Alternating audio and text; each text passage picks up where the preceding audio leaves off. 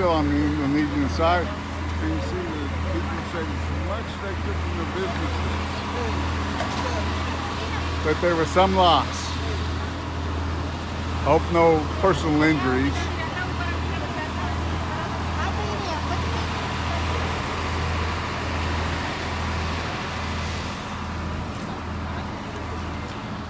It's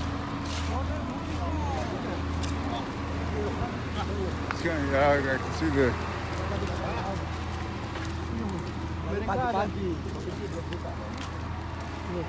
Hari ini lagi ada. Pasar kan, pasar baru. It's probably right here, at these tents. They have no boat, but they have a tent. No tent only. Okay.